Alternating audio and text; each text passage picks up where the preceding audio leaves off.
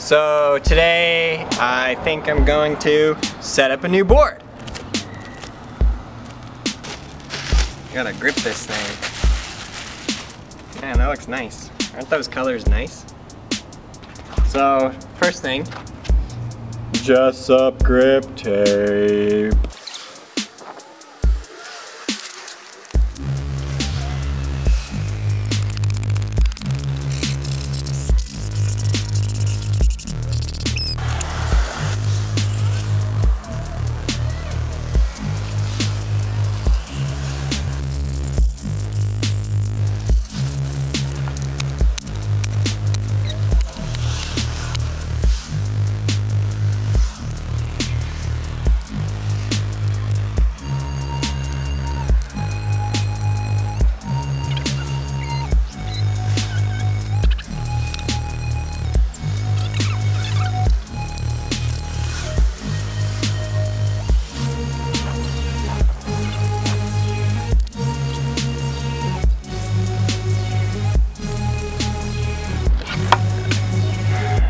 Maybe I should just Done. skate it like that.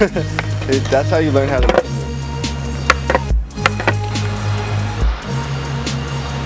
Why are you looking at me?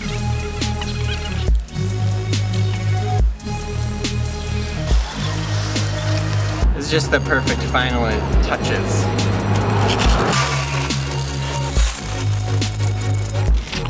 If you don't do that, it doesn't skate well. In fact, you can't even skate on it at all.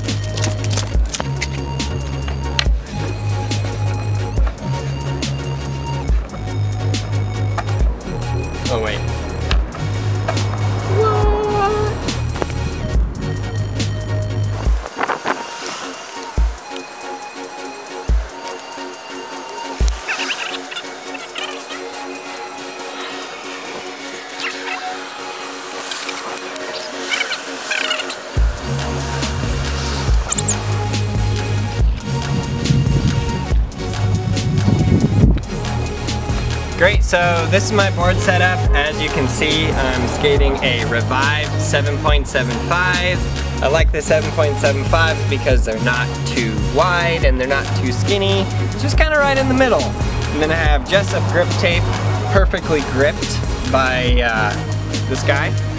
Um, yeah, I always like to scrape off these little parts just so I don't have anything sticking up and scrape down the sides really well so the grip tape doesn't peel up.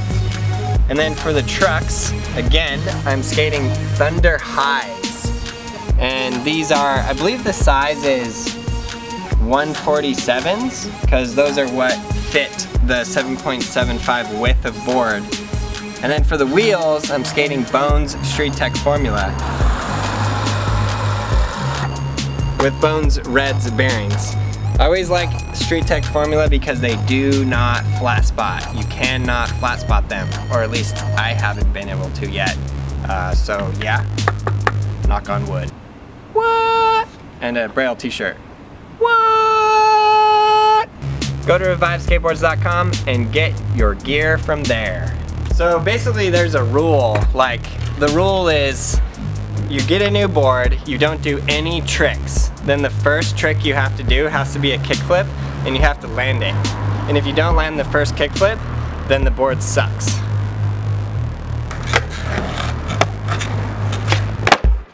Yeah, we're gonna count it! yeah, boy.